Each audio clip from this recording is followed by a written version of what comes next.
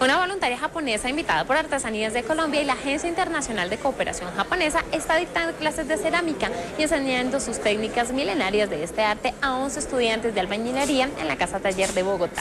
En este lugar está Estefanía Vázquez con más información. ¿Qué tal Estefanía? Buenas tardes. Hola, muy buenas tardes. Hace tres semanas inició este taller de cerámica organizado por la Artesanías de Colombia y bueno, también lo dicta Kayoko, ella es voluntaria de Japón y quien nos va a contar cuál es la finalidad. Ellos van a aprender a hacer este tipo de azulejos que le llaman. Buenas tardes. Buenas tardes. Eh, finalización es ah, como azulejos. Va a ir a estación de Sabana y ahora está restaurando como toda la pared y todo. Y en diciembre va a terminar todo. Sí. Bueno, ¿cómo te ha ido con los estudiantes? ¿Qué tal aprenden estos 11 estudiantes? Ah, muy bonitos todos. Sí, estoy muy contenta y eh, sí, estoy muy orgullosa de ellos porque sí, todo muy genial. Ha pasado el tiempo muy rápido. Sí. ¿Qué es lo que están aprendiendo ellos acá?